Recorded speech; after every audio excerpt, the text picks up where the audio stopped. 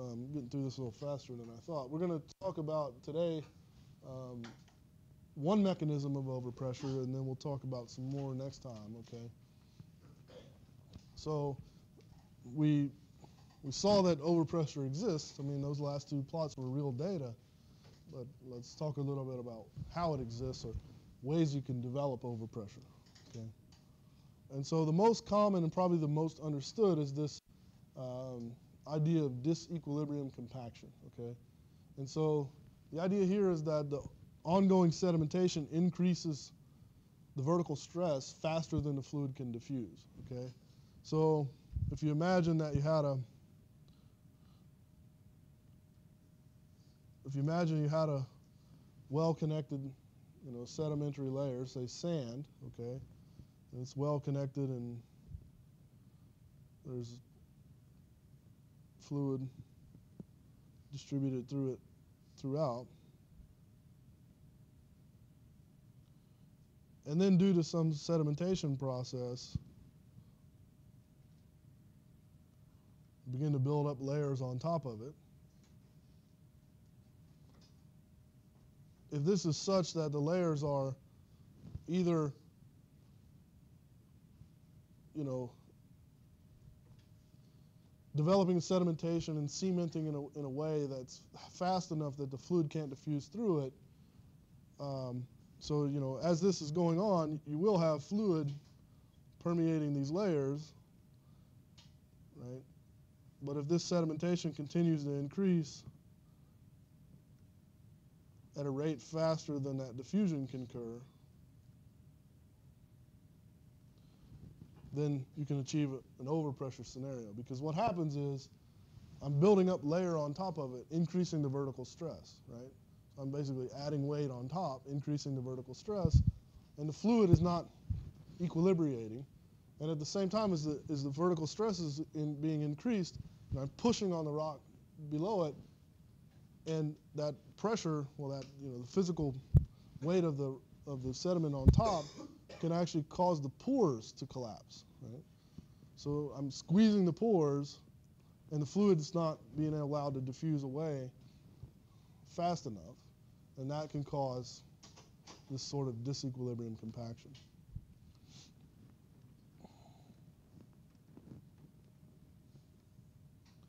And so, you know, the, the characteristic time that of the diffusion process in a porous media is given by this equation. I'll talk about what the terms are, but let's just start um, somewhere, just like I think I've said in this, in this class, you know, whenever you're trying to solve a mechanics problems and you don't know what else to do, start with F equals ma, right?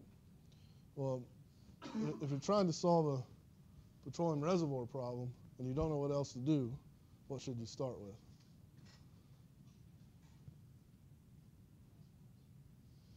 Okay, mass balance is, is fine. Uh, uh, something even simpler than that, maybe. Sort of the F equals ma of petroleum engineering. Darcy's law.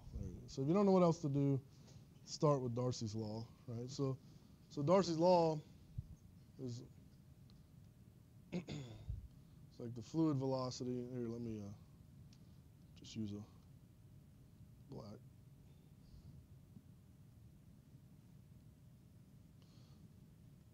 So the fluid velocity is equal to, and we're just going to do this in 1D, okay? So the permeability over the viscosity.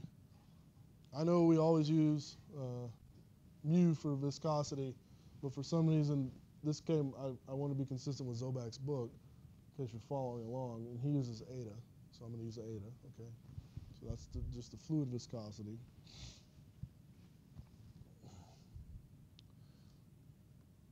Times the uh, change in pressure, uh, the partial derivative of pressure with respect to x in 1D, where x is the direction of interest. All right. Uh, I know there, there, there may be an area term here. We're just going to talk about it through a, through any unit area. Okay. So this is the velocity of the fluid. Well, what is? I'm trying to think of what is um, can you describe a velocity in, in words? Like the, the velocity of a particle or something? It's like,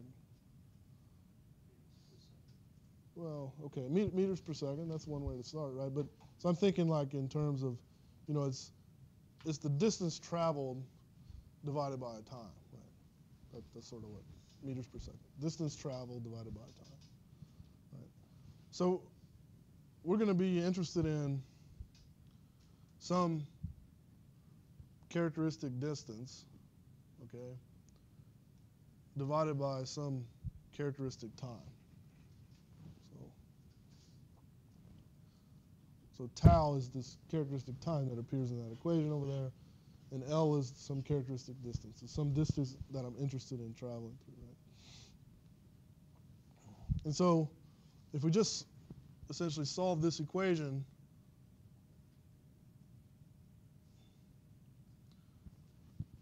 for tau, then we get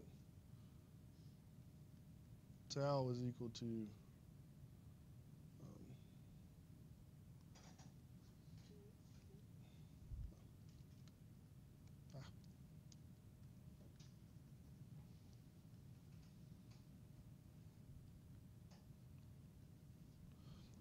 Okay. Um,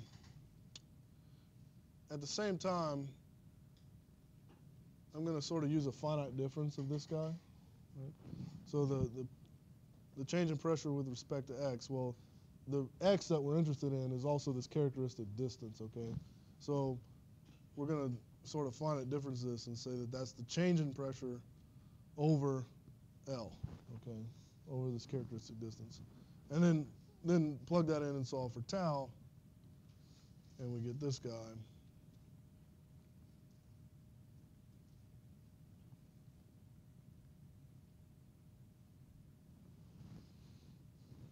Okay?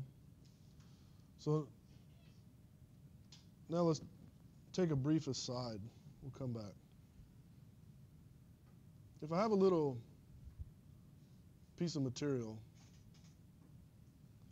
this is distance x, and I apply some stress to this such that I deform it. So this, this original distance, we'll call it L0, and I'm going to deform, I'm going to apply a stress and I'm going to deform this guy so that it has a new distance L, right? So then from your solid mechanics class, what is the strain what, what strain did I apply to that thing? Remember the definition of strain?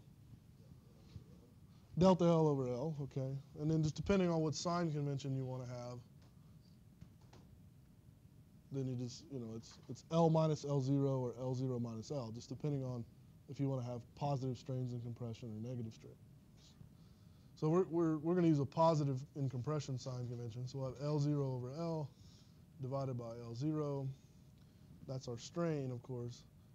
And if we were to plot this, this strain versus the applied stress, for a linear elastic material, I'd get a curve that looked like that, right, in one dimension. And the slope of this curve, what's the slope of the curve? The slope of the stress strain curve. What's the name of it? Hmm? Young's modulus, elastic modulus, right? So we typically use E for that.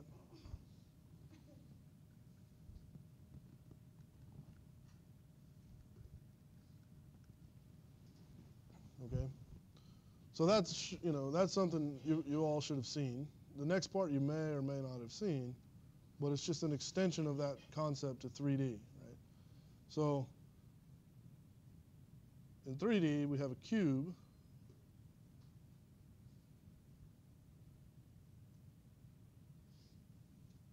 Okay, I'm going to apply stress equally on all sides.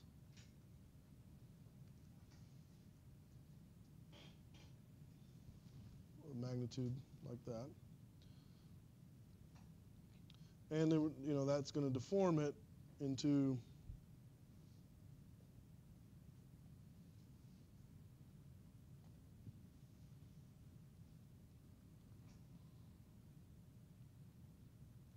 some smaller cube. And so the you know, stress and strain are tensors, of course, right? But in this case, I'm applying a stress that's equal on all sides, right? So my stress, my stress tensor is going to be just, uh, let's use H here or something.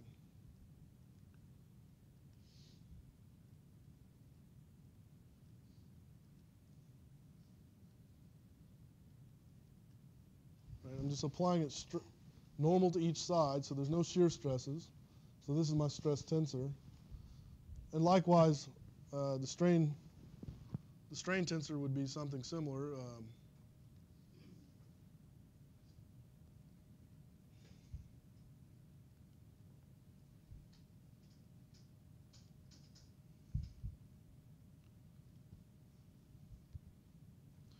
now, if I apply an equal stress to all sides, am I going to get equal strains? So are all those equal to one another?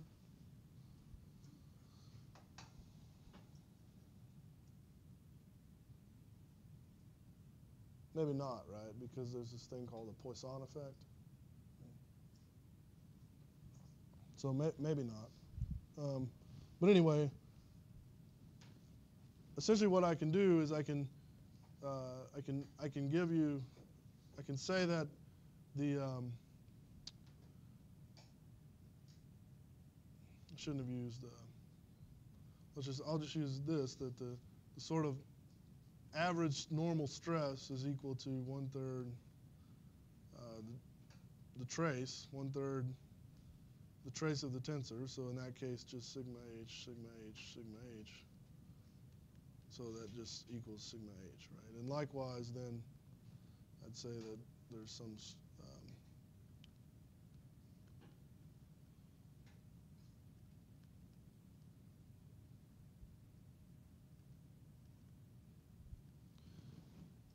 And so if I were to plot this,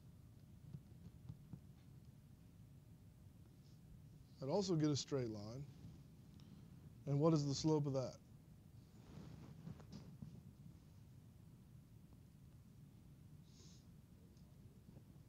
Not the Young's modulus.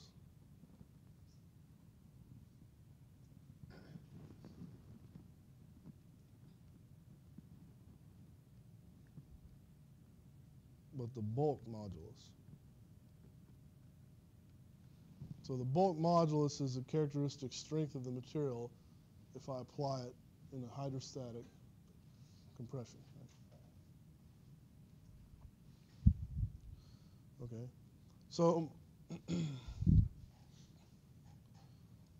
now just as a final thing before we go back, let's imagine that I apply a hydrostatic a change in hydrostatic stress equal to delta P and a change in hydrostatic strain equal to 1, then, I, then I'd have the equation just according to this same thing, delta P over 1 is equal to K, right, the bulk modulus. Does anybody know what 1 over the bulk modulus is? It's a term that's more familiar in, in petroleum engineering. It's the compress, compress, compressibility, right? Compressibility. So if I just invert this relationship, 1 over delta P is then beta, the compressibility. Right? So remember this equation, and we're going to go back. We have 1 over delta P there. So then we have the compressibility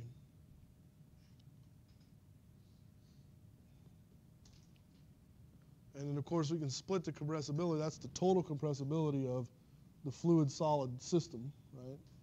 And so then if we split it and we say, okay, we have the porosity of the rock, which is fluid filled, right? So the porosity of the rock has fluid in it, so it's the porosity of the rock times the bulk, the compressibility of the fluid plus the compressibility of the rock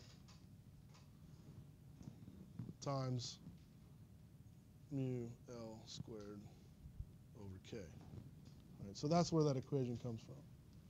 It's really just Darcy's law. And then Darcy's law with an interest in you know, how long, what's the characteristic time scale for some, for some characteristic length scale, okay? So we can use this equation to estimate you know, how long it takes for fluid to diffuse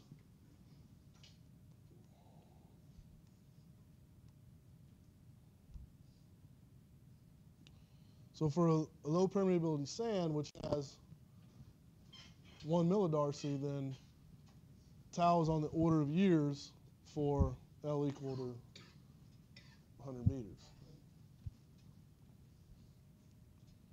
So 100 meters could be the a reasonable size of a of a cap or isolation sedimentary isolation region, right? So on the order of years. So it only took a few years for the pore pressure to equilibrate. And in that case, it's just going to be well connected and you're going to see hydrostatic pressures. Okay. However, in a low permeable shale, which has a 10 nanodarcy, right, then tau is on the order of 100,000 years for 100 meters, right, which is sort of what we know. I mean, you know, it takes even for natural gas, I mean, here we're talking about water, but even for a natural gas in a shale, it takes, shale is so impermeable, right? It takes one natural gas molecule one year to migrate one meter in shale. So it's very, very impermeable material. That's why we have to stimulate it somehow to produce it. Um, so this is an actual well in the Gulf of Mexico. Um, so here's some gamma ray logs and other stuff. But essentially, the point is, um, the point of this is just to show that this is actual data from this well in the Gulf of Mexico and shows this sort of overpressure region uh, at depth. Uh, so now to re just return to that question, why why do we always why is it very common to see this overpressure in the Gulf of Mexico knowing what you know about disequilibrium compaction now? And disequilibrium compaction remember is that you have sediment moving in faster than the fluid can diffuse. So why does this happen in the Gulf of Mexico?